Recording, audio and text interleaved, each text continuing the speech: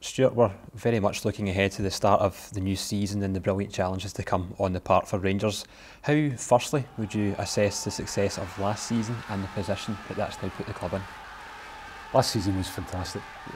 Uh, to go through the, the league season unbeaten uh, is something that nobody would have imagined at the start of the season.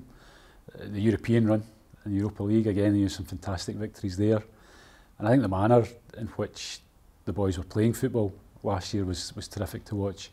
Uh, the only shame was there weren't any fans in to see it, but we're seeing the fans coming back now, which is great. And I think you can see the boys reacting to that in a very positive manner on the pitch in the couple of games we've had, or three games we've had now, uh, uh, against Arsenal, Brighton and Real Madrid. So there's, there's a lot to look forward to. Uh, I think we've added to the squad. I think we've strengthened the squad. You can see that uh, from the, the games we've played already. I think the style of football is going to be very similar from again from what we saw at the weekend there in the two matches against Brighton and Real Madrid. Uh, there's a very free-flowing, fast form of football, and lots to lots to look forward to uh, in the current season. So 55's gone. You know we've done that. It's in the cabinet behind us, and it's now on to, to, to the current season and trying to retain the league and trying to qualify for the Champions League group stages.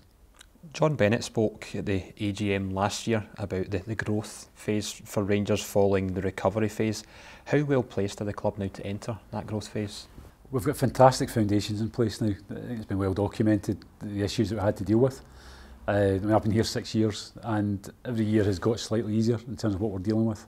And being able to look forward and being able to look at how we take the club forward is a key thing. You know, be it the digital transformation strategy we're looking at, we want to get a single sign-on. So supporters, we understand the frustration supporters have.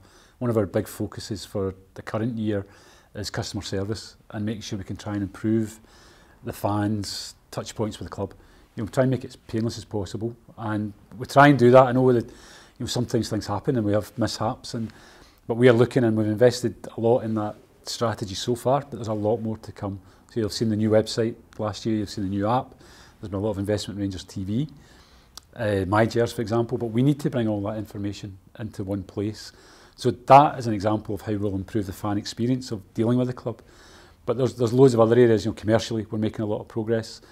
Infrastructure-wise, we're making a lot of progress. Uh, delighted that when the fans who've already been back and those still to come back, we'll see a lot of improvement. We've got the new hybrid pitch this year, which has come through two games in two days there, and actually you'd hardly know there'd been a game on the pitch. So groundsman delighted with that, you know, and, and quite often groundsmen would almost rather than play football on the pitch. It's uh, the classic groundsman trait. But the guys have been brilliant. You know, they've put a lot of work in over the summer in a very short period of time to get the pitch into the condition it's in.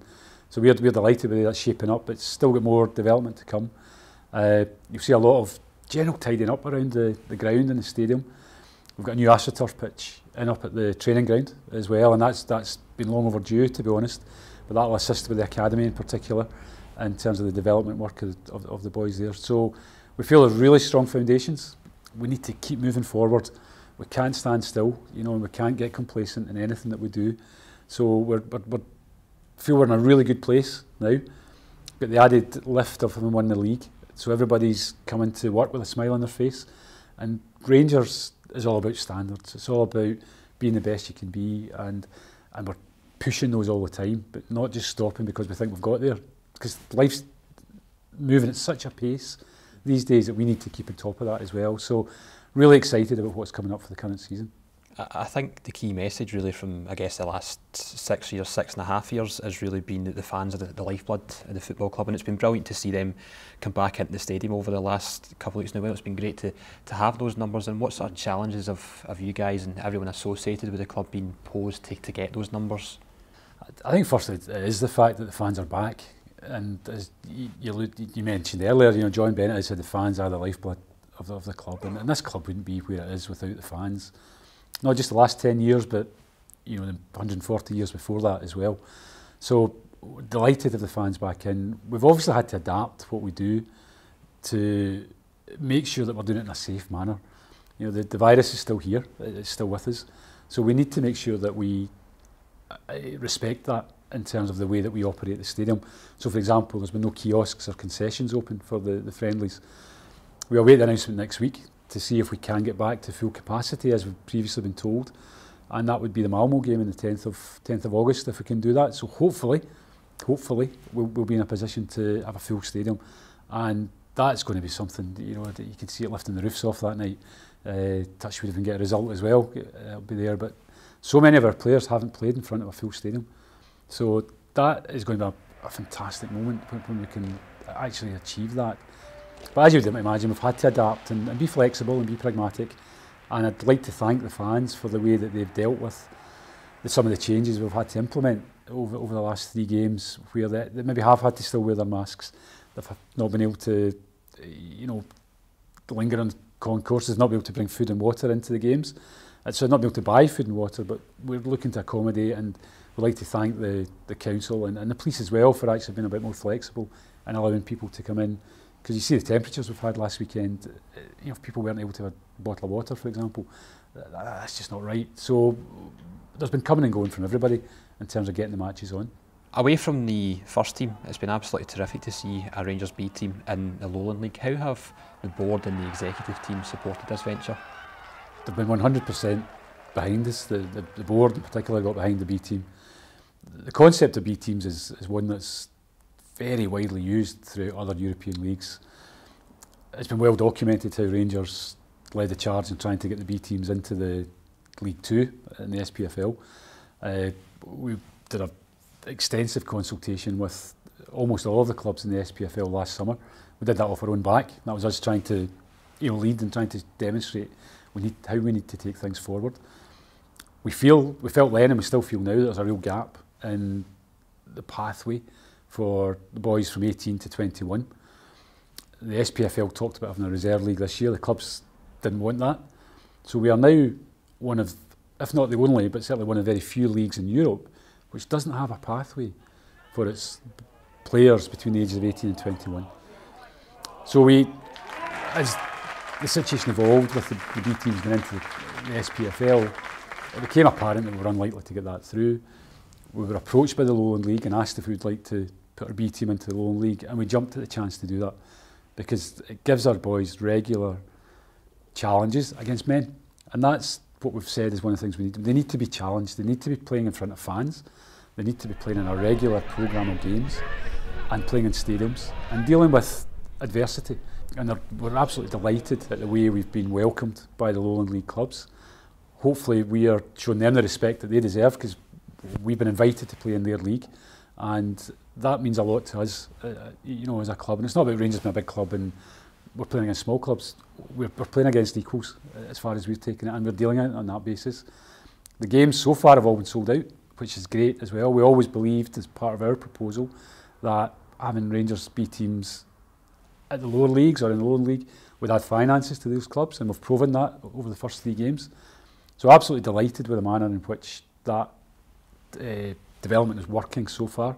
And I'm sure there'll be some ups and downs as we go through it, but we still believe wholeheartedly that B teams in the SPFL is the way forward. We are, despite the SPFL talking about reserve leagues, not come up with an alternative so far. You know, again, you're looking for the authorities to actually lead in terms of these aspects of the game, But it's been down to the clubs, and we're not getting that leadership from the game. Where's the alternative? Where's the plan B or the plan C in terms of what we're going to do for the development of our boys between 18 to 21? And Ross, you, you'll, you'll have heard Ross uh, a short while ago speak about his views on that as well. So we're, we're really keen that we keep pressing on that, and we will keep pressing. But delighted that the Lowland League have given us the opportunity that we have. You actually mentioned the, the SPFL there. Now, of course, you're now being elected back onto the board of the, the SPFL. What sort of areas are you looking to influence there over the next year? I think there's several areas where the SPFL could be doing more and could be better. Uh, look at the commercial aspects of, of the organisation. I, I think when you look at the television deal we've currently got in place with Sky, and Sky are fantastic partners, so no criticism of Sky whatsoever, but I think we've undersold the product. We need to be marketing Scottish football in, in a much better way than we do. You know, look at the product we've got at the moment. Look at where our coefficient is in Europe. You know, we're playing quality teams we've seen ourselves in the last couple of years. But when you look at the value of a, I know, take the old firm games for example, there's four of them per season. We know that Sky are paying seven and a half million pounds per game for the Premiership package. The Old Firm games rate at the same level as some of the top Premiership games. You know, the Old Firm's recognised as being one of the world's top derbies. So if you take the Old Firm game, four Old Firm games alone, that's equivalent to £30 million of value based on the Premiership payment terms. But the SPFL as a league is only getting £25 million for 48 games. Therefore, how have we sold that? How, how can we say that we've sold that well? So, in my mind, that's been undersold, and that's a key area where I believe the SPFL executive need to be looking to do better going forward. I think the governance, I've, I've talked about that you know, since last year. I, I believe there's, there's loads of areas where the governance of the league can be much stronger. And hopefully, by doing it in a positive, proactive way, we can actually make it better. Because uh, it affects all the clubs in Scotland, which ultimately reflects on us. So I, as I say, I look at the commercial, the way we commercialise the game and, and the way that uh, I believe we undersell Scottish football. I actually believe we've got quite a good product here. Uh, you know, there's, I know there are a lot of clubs at the moment who are looking at how can we do things better. And there's some grumbles there, but we need those clubs to actually come forward. And let's have the, the open, honest debate about how we improve our game and actually how the authorities actually lead the game. You know, it's, it's just incredible. As a league, we don't have a strategy. You know, so that's an area we're looking for. Look, where's the strategy for the league? How are we going to take this forward? How are we going to make it better? The Rangers women's team are back in action this week as well with a friendly against Hamilton ahead of their competitive action starting next weekend. Now, well, I'm sure everyone would have hoped for a, a higher league position from them last year. How fantastic to have them as an integral part of the football setup at the, the training ground now.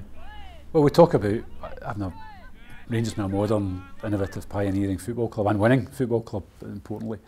And you can't be those things if you don't have a diverse group of teams. So the board made a decision a couple of years ago that the women's team should become professional. And I know they were all disappointed in where they finished last year, but I also know that they're approaching the new season with enthusiasm and excitement and really looking forward to driving on and winning the league next year. That's the target they absolutely set for themselves. So we're we're excited by that. I, I know that their pre-season's gone well uh, friendly against Hamilton, the key stage in that. But I know Amy and the team and uh, Malky are really looking forward to this season. So it's, it's a big part of the club. It's going to become bigger as well because there's no doubt that the investment that's coming into the women's game through UEFA and FIFA is going to lead to the development of that. And that will lead to, hopefully you've got better run competitions, you, you've got more sponsorship, more uh, partners coming into the game as well. So that's something we're really excited about as part of the club. You touched on it a little earlier, but commercially the club's obviously continue to go from strength to strength. How do you reflect on the growth in this, this area and what more is there to come from that area too? The commercial department has grown every year. It's been, we started from a really low base six years ago, there's, there's no getting away from that because of where the club was. But it's, it's evolved and it's about getting good people in place. So we brought James Bisgrove in a couple of years ago as commercial marketing director. But it's not just James, and he was the first to say that. It's about the team he's got around him. We always knew the structure we wanted, but it's then getting good people to populate that structure. So we're, we're again, looking forward next year. There's some really exciting developments going forward. My Jers is moving into year two, and that's going strongly, and it's growing, which is, which is fantastic to see. Uh, we talked about the digital transformation strategy. We, we need to we need to improve the fan experience. We, we need to make it easier for fans to deal with Rangers. We need to make it we need to be easy to deal with. That, that, that's first and foremost. That's where we have to be. So that, that side of the business, there's a lot of investment going into that side of the business. It may take us a bit of time to get to where we want to get to, but we can see the improvements there. The commercial partnerships that we are uh, developing, we've gone from 10 to about just under 40, I think it is now. And we've got a very clear strategy in how we're selling the partnerships out to the, the wider market. And that's been a key source of revenue for us. It's about being innovative, it's about being leading edge. But there's a couple of projects we're really excited about we've got ongoing at the moment. Uh, we've got New Edmiston House, you know, the 150th anniversary, and that's a massive year for us uh, in terms of commercial, uh, the commercial side of things, but it's also about leaving a legacy. And New Edmiston House will be that legacy. And But again, we want to involve as many people as we can in the celebrations of the 150th anniversary. It goes back to the fans being the lifeblood of the club. you wouldn't have reached 150 years if it hadn't been for the support of the club. So we're all really excited about New Edmiston House and, and the way that's developing. Uh, the groundworks are just about complete. Actually, I think it's today they're completing. Hoardings will go up next week. The steelwork and the piling will start uh, very shortly as well. So that that is on track at the moment to to be ready for uh, late spring ne next year, and we've got lots of events planned for that. Delighted with the way we're going, but more to come from commercial. One of the aspects that's perhaps related to commercial and has been a lot of discussion over it has been media access for the new season. What can you tell us about that? Uh, it's been interesting. A lot said about that over the last couple of weeks in particular. Uh, we we've we sat down a couple of months ago and looked at the way the world is changing. And it's not changing any in any area more so than media. If you look at where we were 20 years ago in media. However, some people don't seem ready for change, and uh, what we're trying to do, and just like, like I'll explain the rationale of what we're trying to do on the media side of things. We've looked at some of the partners we deal with, like Sky, for example, who pay a lot of money for their access to our players, our manager, our intellectual property.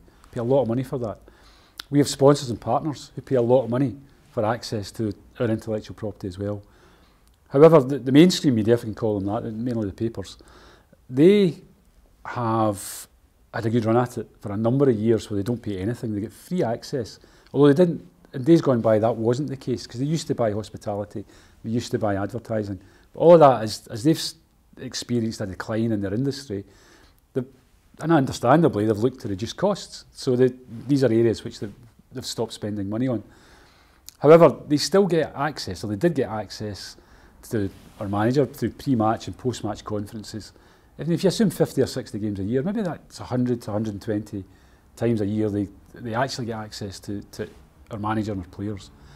And all we're saying is, you know, that, that you've done well out of that, guys. But actually, we're looking at, we've invested significant sums in our own social media platforms, Rangers TV, and more and more of our supporters are actually accessing, and the wider community, not just Rangers supporters, uh, but the wider community are actually accessing these platforms that we've invested very heavily in. And you can see the growth and the numbers that we've got in those platforms.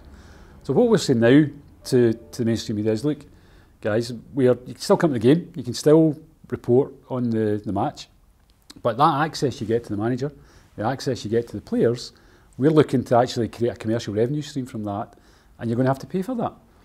Now, it's your choice, it's a totally commercial decision, and your choice if you want to pay for it or not. But we know that, that the information that we put out there will go out through Rangers TV and out through our social media platforms. So we're not falling out with anybody. There's a lot of good journalists in, in, in the world and we can happily coexist. But the world's changing. And my job and the job of my team and James Bisgrove and his team is to maximise the revenues that we bring, to, bring into the club. You know, and I've seen a couple of articles where, you know, Rangers hubris and, you know, because they won the league. This would have happened regardless of whether we'd won the league last season. This is the way the world is moving. Talk to other clubs, not just in Scotland, but in England as well. And there are other clubs who are looking at doing this as well. Maybe we've gone a bit more public on it, but this is something that we're going to do. So it's up to the, you know, if the mainstream papers want to get on the bus, great. If they don't, they don't. You know, that's fine. We'll, we'll, we'll deal with that. But as I say, we are very comfortable with the decision we've taken on in that area. Sorry, and we'll, we'll see how it goes. We'll see how it develops. A key thread of conversation at this time of year is always transfers, both in and out. Great to see some business already been doing for the first team with a, a good number of arrivals already. Yeah, delighted. I mean, I think you see we brought in Jack Simpson, Scott Wright, and Nnamdi, obviously in uh, in January. We've then brought in Fashion and John Lundstram, who've Fashion Sakala and John Lundstram, who've who've come in in the summer. I, I think from the, the snippets we've seen so far in the early pre-season games, you can see that they've added something different, real quality to the squad. So I know that Stephen and the coaching team are delighted uh, with the, the the the way in which they've settled in so quickly, and I think that's a testament to to Ross and Stephen and the team and the players. Actually, the way they've welcomed these guys into the team. So absolutely delighted with uh, the guys who've come in so far. It's uh, it's not the end of July yet, you know, so there's there's still a few weeks to go, and we'll we'll see what happens through the rest of the window. One of the things you've kind of, or one of the threads right through the whole interview has been, it's all about looking forward. So how do you and your staff continue to drive the club forward this season and beyond? It's about never stopping. uh, Nick, you have to continually looking at what you do next. What can we improve on? What could be done better? We we had a big to-do list when we came in, and you know that to-do list probably a bit shorter now, but it's still fairly lengthy. Uh, lots of areas of the club that we still feel we could be doing things better.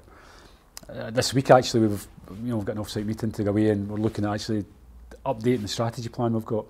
We, we update it every six months and our, we're looking forward into the winter period and where do we want to be, what areas do we want to improve, what structures do we want to change, what infrastructure elements do we need to look at improving. Uh, I mentioned customer service, and that's a, a big part of where we're, we're going to be focused over the next 12 months and improving that side of things.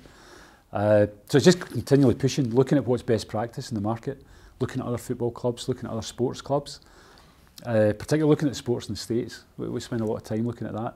And it's about information, it's about getting information from people in different areas. You know, you, you have to be constantly looking to learn about how other, how other people do things. And say, well, actually, is that better or not than what we're doing? And if it's better, how can we implement something like that? So we will be pushing really hard. The exec team that's here is, is all really geared towards pushing and making things constantly better because we can't stop still. We can't get complacent. You know, if we want to go on and get 56 and 57 and 58 and beyond, regularly qualify for Champions League football, we need to keep pushing really hard. And just finally, this is obviously the 150th anniversary season of the, the football club and with Real Madrid friendly at the weekend, and there, there's so much planned as you kind of alluded to. It just seems for everyone, staff, players, supporters, a, a fantastic year to be involved with Rangers Football Club. It's something that I I'm conscious I'm very lucky to, to be sitting here in this job at, at this time. Uh, it's a privilege to be leading the club through its 150th anniversary. Uh, it's John Gregg's interview the other day prior to the Real Madrid game. He said it's not a club, it's an institution. And it means so much to so many people. And we're very conscious that we are here for a period of time and we will act as custodians, but we need to hand the club across to the next set of custodians in better shape than we, we got it in. And that's, that's a key, one of my key things I try and do every day when, when I'm here there are so many people get so much from this, you know, from, from Rangers. It means so much to them. And this year in particular is, is, is massive for the club. To have done it on the back of winning the league is a great springboard to take it on and, and really push on and make sure we'll, as I said earlier, leave a legacy. You know, New Edmiston House will be the physical legacy, but there's the, the kind of spiritual legacy we want to leave behind. Having Arsenal and Real Madrid here over the course of a week, two teams that mean a lot to a lot of Rangers fans. Arsenal for the historical reasons, Real Madrid because it just seems to be a lot of Rangers fans have got a connection with Real Madrid. That's been really important. That felt those felt like two fantastic teams to actually bring to Ibrox to start the 150 celebrations.